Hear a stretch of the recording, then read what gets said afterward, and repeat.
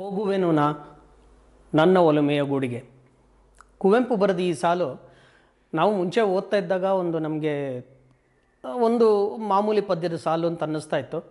ಮತ್ತು ಬಹುಶಃ ನಮಗೆ ಆ ಮಲೆನಾಡಿನ ಚಿತ್ರಣ ನಮಗೆ, ನಮ್ಮ ತಲೆಮಾರಿಗೆ, ಬೆಂಗಳೂರಿನವ್ರಿಗೆ ಸಿಕ್ಕಿದ್ದೇ ಅಲ್ಲಿಂದ ಅನಿಸುತ್ತೆ. ಈ ಸಾಲನ್ನು ನನಗೆ ಯಾಕೆ ಜ್ಞಾಪಕ ಬಂತು ಅಂತಂದರೆ, ನನಗೆ ಈ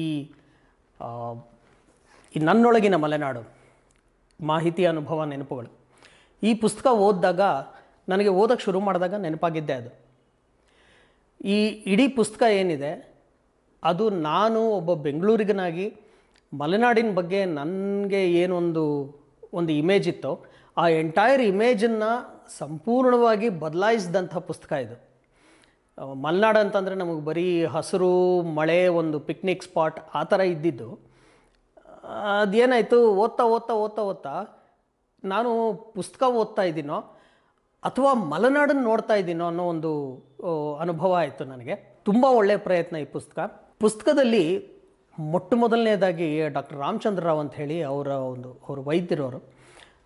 ಅವರು ಅಲ್ಲಿ ವೈದ್ಯರಾಗಿದ್ದಾಗ ಇದ್ದ ಒಂದು ಅನುಭವ, ಆ ಒಂದು ಸವಾಲುಗಳು ಏನೇನಿದೆ, ಅದು ಬಹುಶಃ ಇವತ್ತಿನ ಯಾವ ವೈದ್ಯರುಗಳು ಅನುಭವಿಸಿರಲಿಕ್ಕಿಲ್ಲ.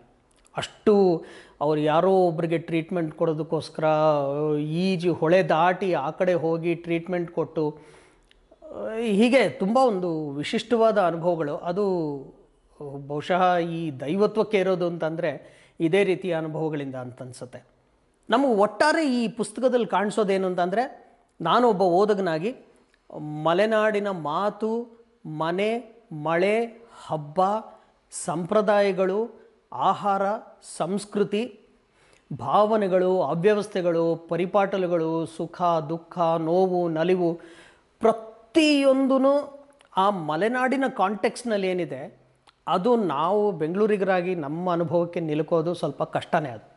ಅದರಲ್ಲಿ ಒಂದು ತೊಂಬತ್ನಾಲ್ಕು ವರ್ಷದ ಹಿರಿಯರೊಬ್ಬರ ಜೊತೆಗೆ ಅವರ ಮಕ್ಕಳು ಮಾತಾಡ್ತಾರೆ ಒಂದು ಪ್ರಶ್ನೋತ್ತರ ಒಂದು ನಡೆಯತ್ತೊಂದು. ಆ ಪ್ರಶ್ನೋತ್ತರದಲ್ಲಿ ಅವರು ಕೊಡ್ತಕ್ಕಂತಹ ಕೆಲವು ಉತ್ತರಗಳಿದೆಯಲ್ಲ, ಅದು ಇವತ್ತಿಗೂ ಮೈ ಜುಮ್ಮನ್ಸೋಂಥ ಉತ್ತರಗಳದು. ಅವತ್ತು ಆ ಹೆಂಗಸರ ಒಂದು ಪ್ರಪಂಚ ಏನಿತ್ತು ಮಲೆನಾಡಲ್ಲಿ, ಅದು ಹೊಸಲಿಂದ ಆಚೆಗೆ ಹೋಗ್ತಾ ಇದ್ದಿದ್ದು ತುಂಬ ಕಡಿಮೆ. ಹೊಸಲಿಂದ ಆಚೆಗೆ ಹೋದ್ರೂ ಅದು ತುಂಬ ಒಂದು ಸ್ಪೆಸಿಫಿಕ್ ಆದ ಕಾರಣಗಳಿಗೋಸ್ಕರ ಹೋಗ್ತಾ ಇದ್ದರೆ ವಿನಃ ಬೇರೆ ಯಾವುದಕ್ಕೂ ಹೋಗ್ತಾ ಇರಲಿಲ್ಲ ಅಂತ ನನಗೆ ತಿಳಿದು ಬಂದಿದ್ದು. ಇದು ನನ್ನ ಮಟ್ಟಿಗೆ ಇದು ನನಗೆ ಈ ಪುಸ್ತಕ ಒಂದು ಕೊಟ್ಟಂಥ ಒಂದು ಹೊಸ ಅನುಭವ ಇದು. ಅದರಲ್ಲಿ ಅವರು ಅಡಿಕೆ ಸುಲಿಯೋದ್ರ ಬಗ್ಗೆ ಮಾತಾಡ್ತಾ ಇದ್ರು, ಆಮೇಲೆ ಅಡುಗೆಗಳ ಬಗ್ಗೆ ಮಾತಾಡ್ತಾ ಇದ್ರು, ಮತ್ತು ಮಳೆಗಾಲಕ್ಕೆ ನಡೆಸ್ಕೊಂಡು ಹೋಗುವಂಥ ಒಂದು ತಯಾರಿ ಏನಿದೆ? ಇವಾಗ ಬೇಸಿಗೆಗಾಲದಲ್ಲಿ ಮಳೆಗಾಲಕ್ಕೆ ಏನೇನೆಲ್ಲ ತಯಾರಿ ಮಾಡ್ಕೊತಾ ಇದಕ್ಕೆ ಇರಬೇಕಾದೊಂದು ಚಾಕಚಕ್ಯತೆ ಏನು? ಮತ್ತು ಅವರು ಮನೆ ಒಳಗಡೆಗೆ ಇದ್ದು ಏನೇನು ಅವರು ಏನೇನು ನೋವು ಅನುಭವಿಸ್ತಾ ಇದ್ರು ಏನೇ ನಲಿವು ಅನುಭವಿಸ್ತಾ ಇದ್ರು ಅದು ಆ ಮನೆ ಒಳಗಡೆಗೆ ಸೀಮಿತ ಆಗ್ತಾ ಇತ್ತು. ಅವರು ಒಂದು ಪ್ರಶ್ನೆ ಕೇಳ್ತಾರೆ. ಅಡಿಕೆ ಸುಲಿಯುವಾಗ ನಿಮ್ಮ ಕೈಗಳು ಹೊಡಿತಾ ಇರಲಿಲ್ವಾ? ಚೊಗರ್ನಿಂದ ಕೈ ಕಪ್ಪಾಗ್ತಾ ಇರಲಿಲ್ವಾ? ಹಾಗಿದ್ದಾಗ ಏನು ಮಾಡ್ತಾ ಇದ್ರಿ ಅಂತ. ಇವತ್ತು ಅಡಿಕೆ ಸುಲಿಯೋದು ಅಂತ ಅನ್ನೋದು ಒಂದು ಒಂದು ಯಾಂತ್ರಿಕವಾದ ಒಂದು ಪ್ರಾಸೆಸ್ ಅದು.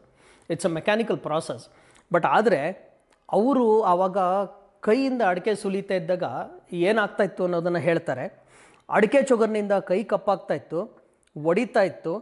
ಕೈ ಕರೆನ ಕಡಿಮೆ ಮಾಡೋದಕ್ಕೋಸ್ಕರ ಅಡಿಕೆ ಸುಲಿದ ನಂತರ ಹುಣಸೆ ಹಣ್ಣು ತಿಕ್ಕಿ ಕೈ ತೊಳಿತಾ ಇದ್ವಿ. ಕೈಯನ್ನು ಮೆತ್ತಗಾಕ್ಸೋದಕ್ಕೋಸ್ಕರ ಒಳ್ಳೆಣ್ಣೆನ ಹಚ್ಚಿ ಕೈಯನ್ನು ಗಸಗಸ ತಿಕ್ತಾ ಇದ್ವಿ. ಸಾಕಷ್ಟು ಕಡಿಮೆ ಆಗ್ತಾ ಇತ್ತಾದ್ರೂ ಕೈ ಪೂರ್ತಿ ಸರಿ ಆಗ್ತಾ ಇದ್ದು ಅಡಿಕೆ ಕೊಯ್ಲು ಮುಗಿದ ತಿಂಗಳ ಒಪ್ಪತ್ತಿನ ನಂತರ ಅಂತಾನೆ. ಅಂದರೆ ಇಲ್ಲಿ ಅವರು ಪಡ್ತಾ ಇದ್ದಿದ್ದ ಕಷ್ಟಗಳೇನಿದೆ, ಅದರ ಒಂದು ಝಲಕ್ ಅಷ್ಟೇ ಇದು. ಇದು ಒಂದು ಸಂದರ್ಶನ ಓದಿದ್ರೆ ಸಾಕು.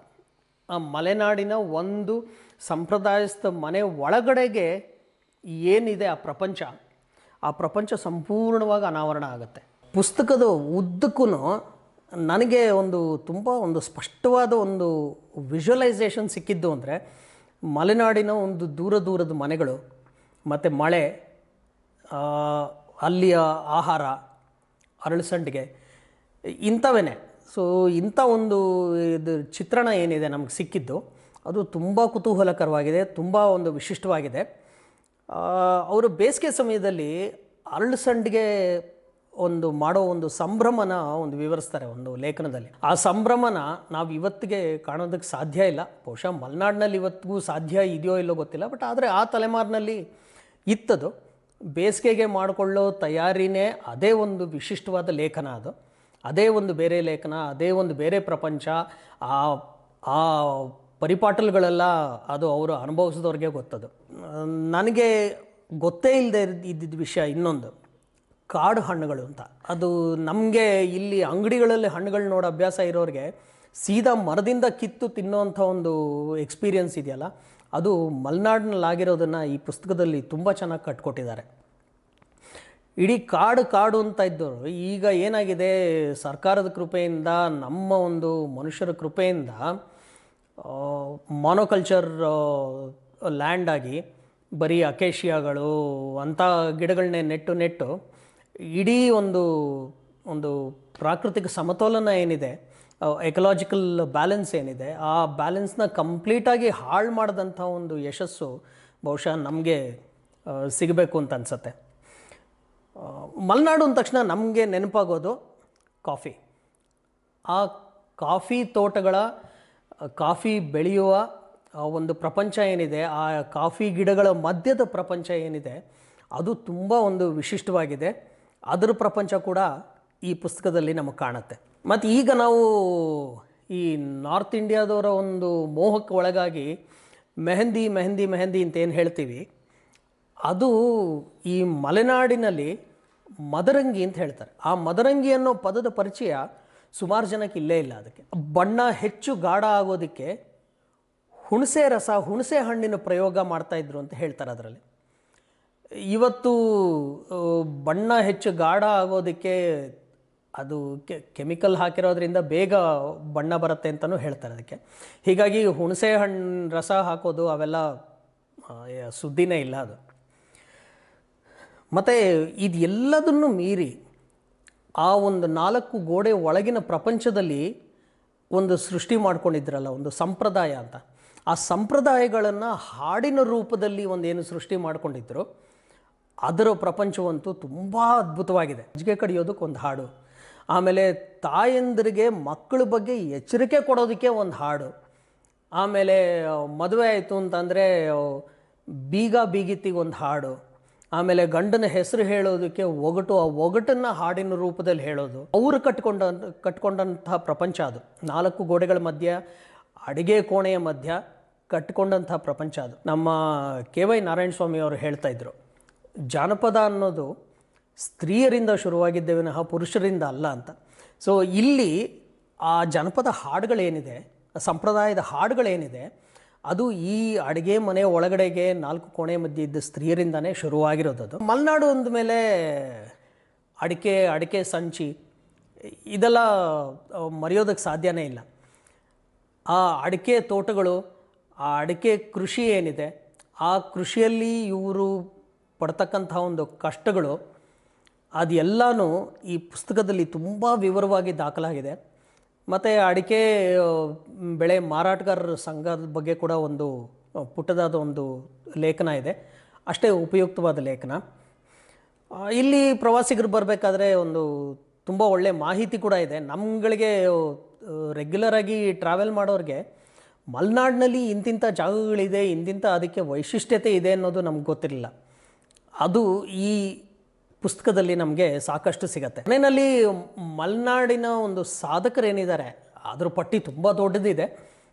ಆದರೆ ಅದರ ಒಂದು ರೆಪ್ರೆಸೆಂಟೇಷನ್ ಫ್ಯಾಕ್ಟರ್ ಆಗಿ ರೆಪ್ರೆಸೆಂಟೇಷನ್ ರೂಪದಲ್ಲಿ ನಮ್ಮ ರಂಗಭೂಮಿಯ ಸಿನಿಮಾದ ನಿರ್ದೇಶಕ ಗಿರೀಶ್ ಕಾಸರವಳ್ಳಿಯವರ ಒಂದು ಅವರ ಬದುಕು ಸಾಧನೆಯನ್ನು ಕಟ್ಟಿಕೊಟ್ಟಿದ್ದಾರೆ ಇದು ಮಲೆನಾಡಿನ ಬಗ್ಗೆ ನಾ ಈ ಮುಂಚೆ ಹೇಳ್ದಂಗೆ, ಇದು ಒಂದು ಎನ್ಸೈಕ್ಲೋಪೀಡಿಯಾ ಆಗುವ ಎಲ್ಲ ಸಾಧ್ಯತೆಗಳು ಇದೆ.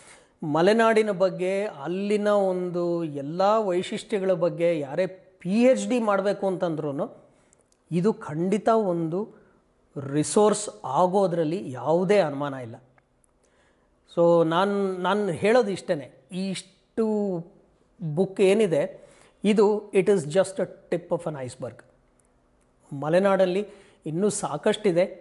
ಅದ್ರ ಪ್ರಯತ್ನ ಸಾಕಷ್ಟಾಗಲಿ ಅದನ್ನು ಹೊರಗೆ ತಂದು ನಮ್ಮಂಥವ್ರಿಗೆ ಅದನ್ನು ಪರಿಚಯ ಮಾಡಿಸುವಂಥ ಒಂದು ಪ್ರಯತ್ನ ಸಾಕಷ್ಟಾಗಲಿ. ಇದರಿಂದ ಮಲೆನಾಡು ಇನ್ನಷ್ಟು ಅಭಿವೃದ್ಧಿ ಆಗಲಿ, ಅಭಿವೃದ್ಧಿ ಅಂತಂದರೆ ಮಲೆನಾಡಿನ ಪರಿಸರ ಹೇಗಿದೆಯೋ ಆ ಪರಿಸರ ಇನ್ನೂ ಚೆನ್ನಾಗಾಗಲಿ, ಅಲ್ಲಿಯ ಜನಕ್ಕೆ ಒಳ್ಳೆಯದಾಗಲಿ ಅನ್ನೋ ಒಂದು ಆಶಯ ಈ ಪುಸ್ತಕ ನಮಗೆ ಕೊಡುತ್ತೆ.